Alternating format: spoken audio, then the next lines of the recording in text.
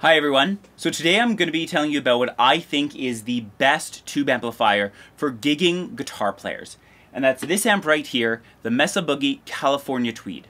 Particularly the 20 watt combo with the 10 inch speaker. The reason why I think this is the perfect amplifier for gigging guitar players is number one, because of the versatility, and number two, because of its size and weight. On the versatility front, we have the ability to switch between 1 watts, 15 watts, and 20 watts with Mesa Boogie's multi-watt power scaling feature. This allows you to get anywhere from natural to overdriven tube tones all the way up to a totally clean pedal platform amp. You have a very powerful 4-band EQ, a super effective master volume where you can get exactly the tone you want at either bedroom levels or on stage.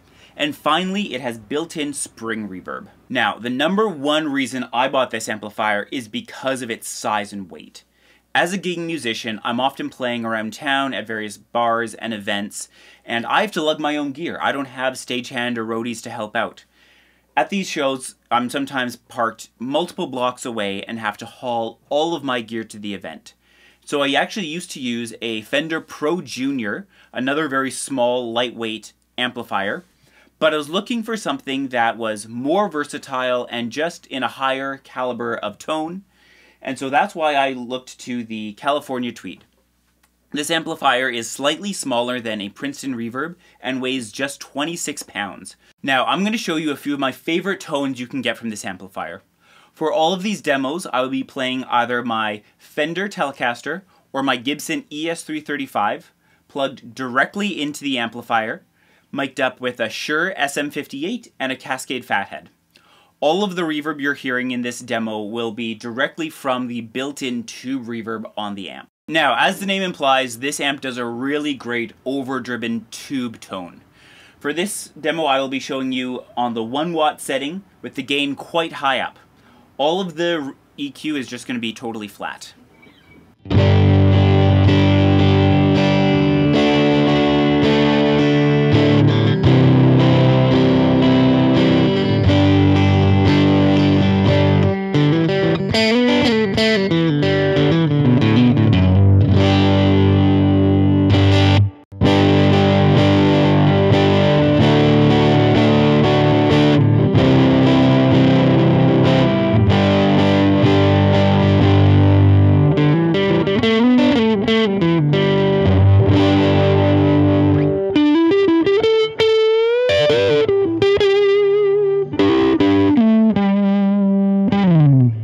Now, my favorite way to run this amp is on the edge of breakup. So for that, I go to the 15 watt setting, and I dial back the gain so we get just a hair of natural overdrive.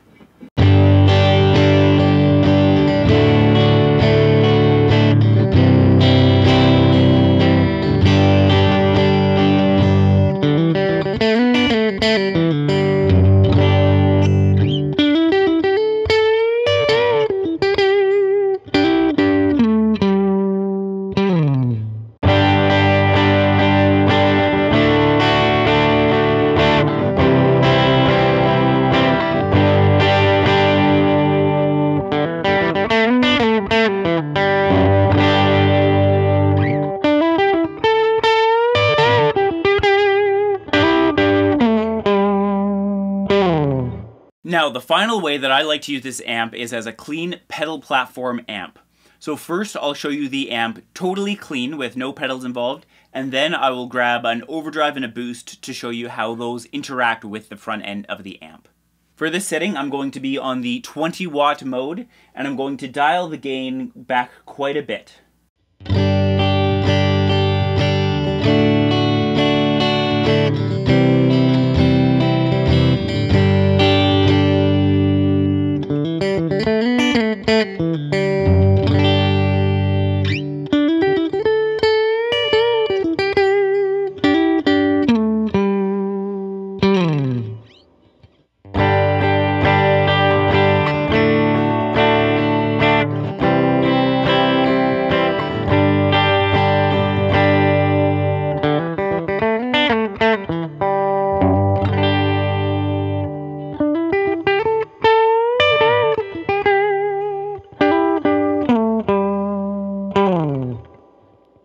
I'm going to be showing you what it sounds like using an overdrive in front of this clean amp.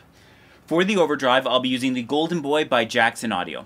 If you're curious to learn more about this pedal, I have a whole walkthrough of its feature set linked down below.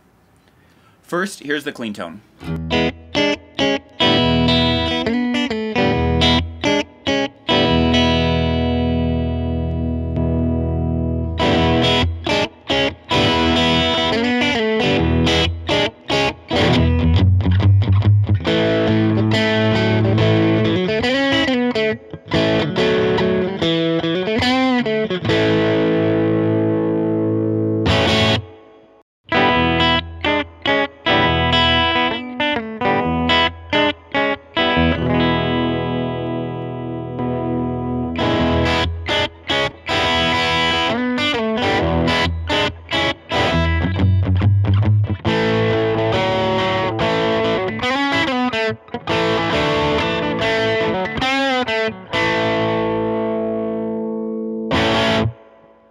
Another great way to use this amplifier is on the edge of breakup and actually just using a boost for your solos to push it into that naturally overdriven state.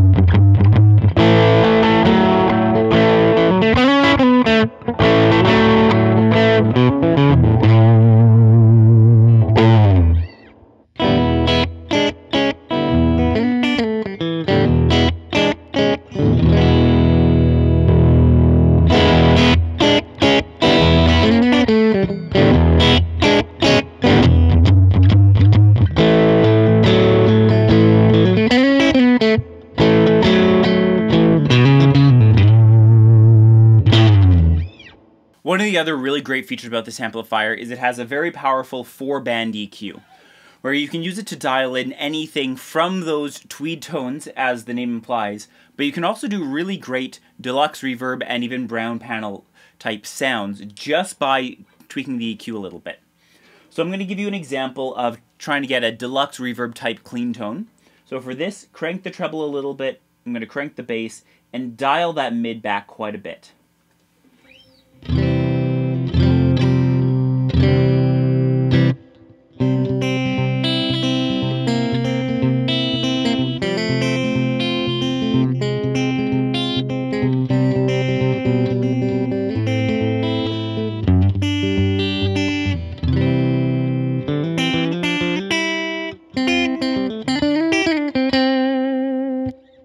If you're looking to get more of a brown panel or tweed type tone, what I'd recommend doing is dialing back the bass and the treble a little bit, keeping that around noon, and then really cranking up the mids.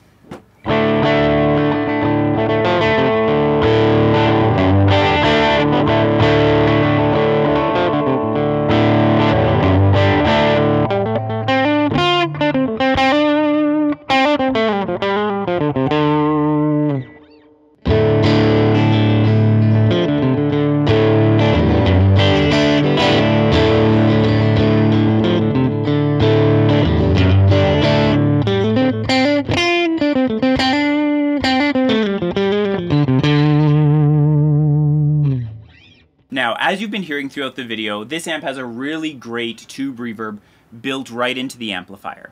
It does everything from a really nice, subtle reverb just to give a little bit of extra space and width to the tone, eh, but can also get very splashy if you want it to. So here's just a nice subtle reverb.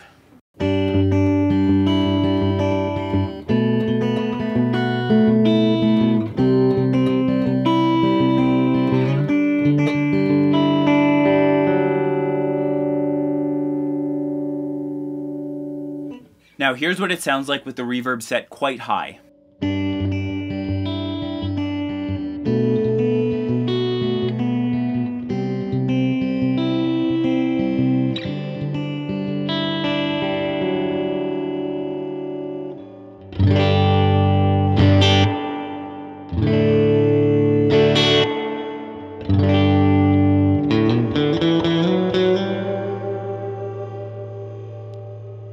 To talk about a couple of things that I don't like about this amplifier. And I should mention that these are very minor things, but I did think it would be worthwhile to point them out. The first thing is that the spring reverb, since it is in a small combo amp, once you're playing this amp quite loud and have the reverb up, you get a lot of unpleasing noise artifacts in that reverb. And I think the reason for that is because it is a small combo amp, having those springs right beside where that speaker is just causes those springs to vibrate in such a way that it gives, um, you know, unpleasant sounds into your reverb sound. So I like to actually keep the reverb quite low when I'm playing live. In addition, the other thing that I don't like about this amplifier is that the reverb knob is actually on the back of the amplifier. This makes dialing in that exact right amount of reverb uh, on a gig kind of a pain. So I think that it'd be much better if they had that reverb knob on the front. Um, you know, they could remove this logo right there and just have it right on the front. There's enough space on there. But those are very minor things. Overall, I think that if you are looking for a great amp for gigging, particularly, I think you should give a very serious look to the California Tweed, particularly the 20 watt 10 inch speaker version, just due to its size and weight. Finally, I want to thank you all so much for watching. If you could all like this video and subscribe to the channel, it would really help out a lot. Thank you guys so much, and we'll see you next time.